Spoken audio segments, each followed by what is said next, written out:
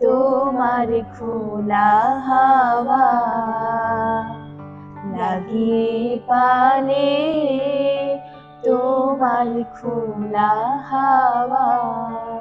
চারদিকে ফুল ফলের চমৎকার বৃক্ষরাজির সমারোহ। খোলা আকাশের নিচে ছাদ বাগানের এমন সৌন্দর্য যে কাউকে মুগ্ধ করে সহজেই। মলয় বাতাসে ভেসে যাব শুধু কুসুমের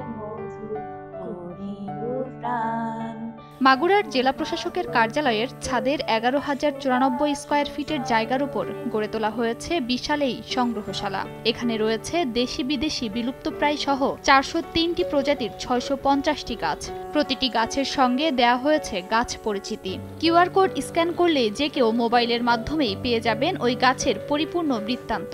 এ যেন প্রকৃতির সঙ্গে প্রযুক্তির এক অনন্য মেলবন্ধন।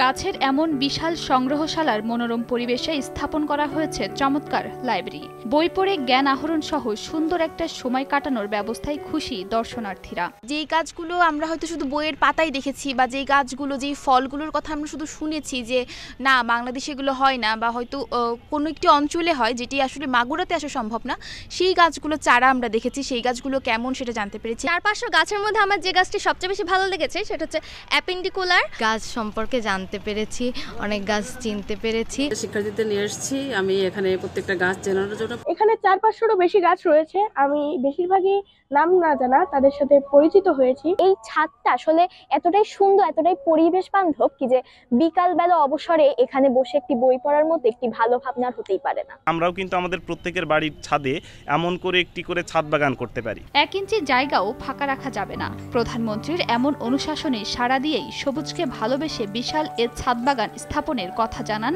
জেলা প্রশাসক। কালেক্টরেট ছাদ বাগানটি এগারো হাজার চুরানব্বই স্কোয়ার ফিটের উপর তৈরি। আমাদের আরও কিছু স্পেস রয়েছে।